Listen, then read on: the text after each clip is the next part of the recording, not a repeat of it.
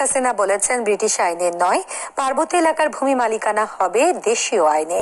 সকালে রাজধানীর একটি হোটেল থেকে ভিডিও কনফারেন্সের মাধ্যমে পার্বত্য এলাকায় চার হাজারতম পাড়া কেন্দ্র উদ্বোধন অনুষ্ঠানে একথা বলেন তিনি। প্রধানমন্ত্রী সময় আরও বলেন, পার্বত্য এলাকায় শান্তি বজায় রাখতে শান্তি চুক্তির আশি ভাগ বাস্তবায়ন করেছে সরকার।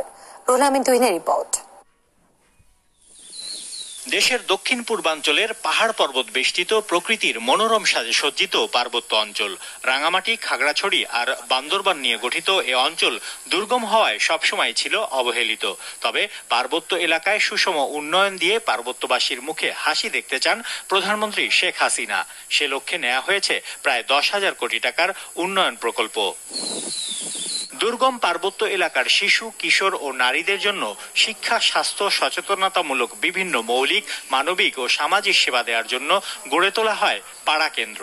সরকারি উদ্যোগে তিন পার্বত্য জেলায় পাড়া কেন্দ্রের সংখ্যা চার হাজারে পৌঁছানোর মাইল ফলক আনুষ্ঠানিকভাবে উদযাপনে যোগ দেন প্রধানমন্ত্রী। প্রধানমন্ত্রী বলেন, দেশের অন্যান্য এলাকার মতো সমপর্যায়ের সমান সুযোগ ও সুবিধা পাবে পার্বত্যবাসী। এ সময় পার্বত্য চট্টগ্রাম আঞ্চলিক পরিষদকে ত্রিশটি প্রতিষ্ঠানের দায়িত্ব হস্তান্তর ও প্রয়োজনীয় জনবল নিয়োগের ক্ষমতা দেয়া হয় বলে জানান তিনি। পাশাপাশি বার্ষিক প্রায় এক হাজার কোটি টাকার উন্নয়ন প্রকল্প ও তিন পার্বত্য জেলার সার্বিক উন্নয়ন অগ্রগতি তুলে ধরেন প্রধানমন্ত্রী। তোর খাগড়াছড়িতে উনত্রিশটা বিষয় আমরা হস্তান্তর করেছি। বান্দরবনে আমরা ওরকমই প্রায় উনত্রিশটা বা ত্রিশটা বিষয়, আঠাশটা বিষয় বান্দরবনে হস্তান্তর করা হয়েছে। আর রাঙামাটিতে প্রায় ত্রিশটা বিষয় হস্তান্তর করা হয়েছে।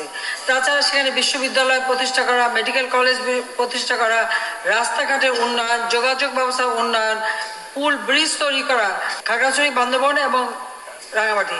সার্বিকভাবে উন্নয়নে ব্যাপক কর্মসূচি কিন্তু আমরা হাতে নিয়েছি।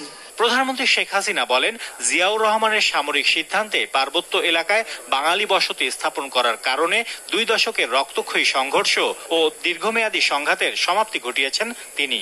ভূমি কমিশন আমরা গঠন করে দিয়েছি। এই ভূমি কমিশন একটু নিয়মিত যদি বসতে পারে, সে সমস্যাটাও আমাদের সমাধান হচ্ছে চাষবাস হবে আধুনিক পদ্ধতিতে। আর জমি জমার মালিকানা সেই মানে ব্রিটিশ আমলে করা আইন দিয়ে না।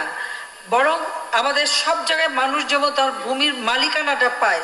পার্বত্য অঞ্চলের মানুষ যেন তার ভূমির মালিকানাটা সেইভাবে নিতে পারে, আমরা সেই ব্যবস্থাই করতে চাই। পরে ভিডিও কনফারেন্সে পার্বত্য অঞ্চলের বিভিন্ন বয়সী মানুষের সঙ্গে কুশল বিনিময় করেন প্রধানমন্ত্রী।